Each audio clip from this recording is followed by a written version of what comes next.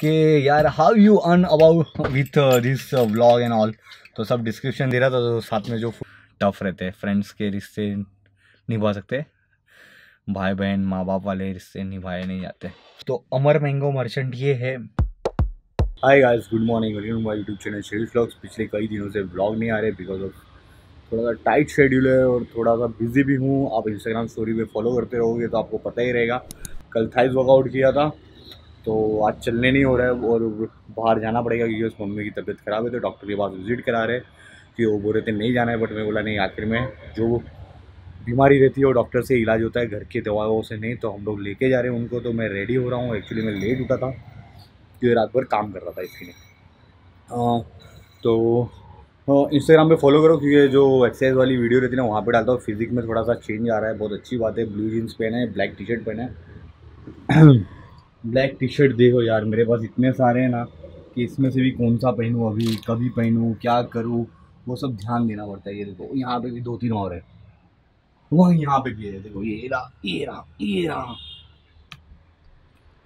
तो समझ में नहीं आता कि ब्लू जींस पे कौन सा ब्लैक टी शर्ट पहने, क्योंकि लुक अच्छा चाहिए, क्योंकि फोटोग्राफी करके इंस्टाग्राम पे अपलोड करता हूँ स्टोरीज बनाता हूँ रील बनाता हूँ इसके लिए। तो अभी ब्रेकफास्ट करता हूँ और फिर निकलता हूँ ब्रेकफास्ट अपना अलग रहता है बिकॉज़ वर्कआउट करता हूँ तो फिजिक को अच्छी चाहिए इसके लिए। ब्रेकफास्ट अपना अलग रहता है तो डाइट प्लान में नहीं बताने वाला। बिकॉज़ उसका पेड चार्ज लेने वाला हूँ, क्योंकि फिजिक में चेंज हुआ है तो मैंने बहुत मेहनत की है रिसर्च की है, मैंने भी पैसे दिए, किसी को तब जाके उसने मुझे डाइट चार्ज दिया था, और बाद में फिजिक में चेंज आ रहा है। इसलिए आपको भी अपनी फिजिक में चेंज लाना है तो बता देना, मैं डाइट चार्ज दूँगा बट पैसे थोड़े लग जाते हैं। मल्टीविटामिन कैल्शियम ये सब खाना चाहिए। हाँ चलो पहले यार, खाना पीना खा लेता हूँ और फटफट निकलना है, क्योंकि टाइम का थोड़ा सा प्रॉब्लम है, क्योंकि मम्मी को डॉक्टर के पास लेके जाना है इसके लिए। सिटी में घूमना रहता है तो मैं स्कूटर से घूमता हूँ, अपने बर की जो स्कूटर है, पता ना, बहुत अच्छी लगती है, टायर भी बदली किया हुआ है तो उसका भी टेस्ट लेता रहता हूँ, और अगर मैंने रिव्यू नहीं दिया तो रिव्यू मैं फ्यूचर में दूँगा। क्योंकि एक दो दिन में क्या दूँ ना भले मैंने दो सौ, तीन सौ किलोमीटर चलाई है, बट सोच रहा हूँ और चलाऊँ और बाद में रिव्यू दूँ तो बाद में दूँगा। दूसरी चीज़, मम्मी को लेके जाना है तो बड़े वैसे कार में जाना पड़ेगा, और बीमार भी है तो कंफर्ट होता है, पानी की बॉटल ले लिए, खाना पीना खाना था, खा लिया। टी शर्ट बदली जाए जैसे मैंने बताया ना दस बारह ब्लैक टी शर्ट तो, तो ये वाला चूज़ किया अभी। घर पे खाली वीडियो बनाने के लिए कुछ भी पहन लिया था अभी ये वाला। कार के अंदर फ़िलहाल चलते हैं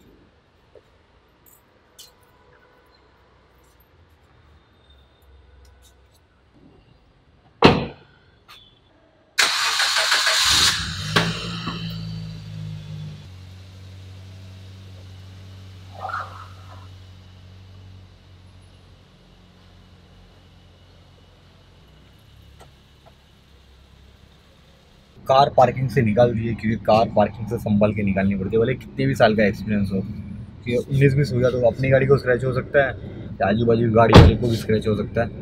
अभी गाड़ी चला के निकलते हैं डॉक्टर की तरफ़, कि टाइम लिमिट बोला था ना म्यूज़िक सुनते सुनते जाएँगे तो मैं ब्लॉग नहीं बनाऊँगा ओके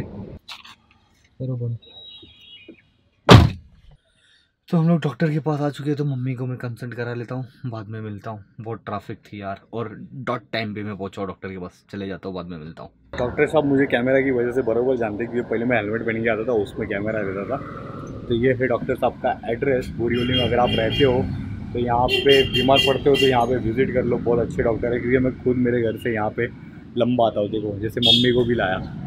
और फ़ोन नंबर चाहे तो यहाँ पे रख रहा हूँ उनका। कॉल करके भी बोरीवली में रहते हो मलाड़ में भी रहते हो, कांदीवली में भी रहते हो तो यहाँ पे आ जाओ। और डॉक्टर साहब ने बोला, कोविड के केसेस बढ़ रहे तो मास्क पहनना स्टार्ट करते यहाँ पे फ़ोटो रख रहा हूँ गवर्नमेंट ने भी बोल दिया है तो चेकआउट कर लो। तो मैं भी अभी आज से मास्क पहनूँगा, आप भी पहनो। ओके मम्मी को दो तीन दिन की दवाई दे दी है, ठीक हो जाएगी। ऑलमोस्ट हम लोग यहाँ पे आते तो ठीक हो ही जाते तो डॉक्टर साहब मुझे पूछ रहे थे कि यार how you earn about with this vlog and all तो सब डिस्क्रिप्शन दे रहा था तो साथ में जो फुटेज वो देख लो। अदरवाइज़ मैं क्लिनिक का सब वीडियो नहीं बनाता क्योंकि बहुत सारे लोग भी रहते तो उनको अच्छा नहीं लगता है इसके लिए। और डॉक्टर साहब फ्रेंडली है, इसलिए चल जाता है।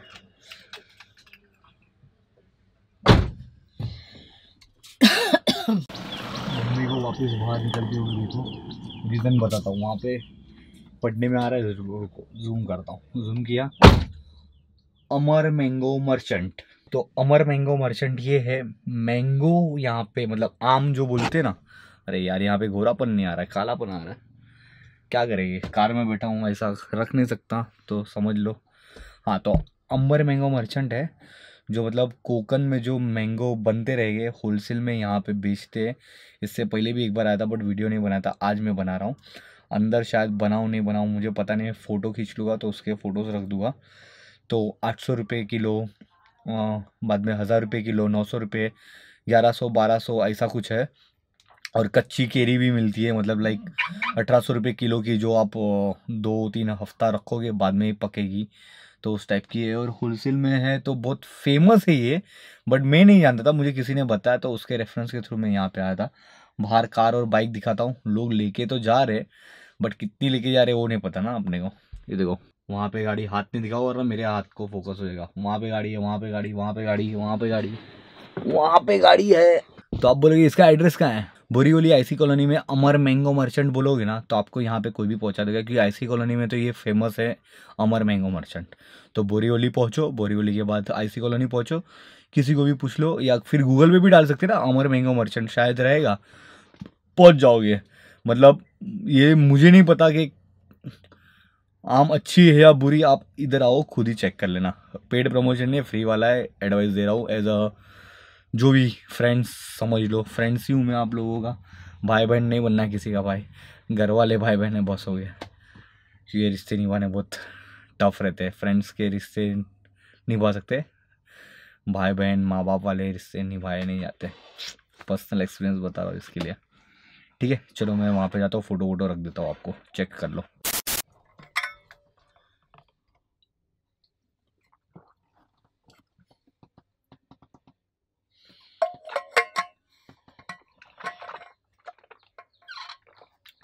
मम्मी ने आम देखा बुट बोला, अब महँगा है। बोले, जिसके पास बहुत सारे पैसे रहते हैं, उनके लिए ठीक है बीस पच्चीस हज़ार की आम खा ले। नॉर्मल इंसान नहीं खा सकता। तो हम लोग ने तो नहीं लिए क्योंकि इससे पहले खाई हुई है। और ये सब नहीं दिखाता अभी, पहले खाना पीना दिखाता था। घर वाले बोलते, नज़र लग जाती है, इसलिए बंद कर दिया मैंने। उर्मी उसमें ज़्यादा चिल्लाती क्यों दिखाने गए? क्या करने गए? इसके लिए। आम महँगी लगी। बहुत महँगा है। तो अभी भी हाफूस तेरह सौ चौदह सौ भाव है उसका। हाँ और खाली हाफूस ही है ना बाकी कोई हाँ, नहीं है ना? पायरी नहीं है कुछ नहीं है। हाँ यानी खाली एक ही मिलेगी आपको क्वालिटी जो हाफूस नाम है। चलो कोई बात नहीं। और रस भी रखा है एक्चुअली मैंने उसका भाव नहीं वो पूछा। हाफूस का ही रहेगा ना। ठीक है।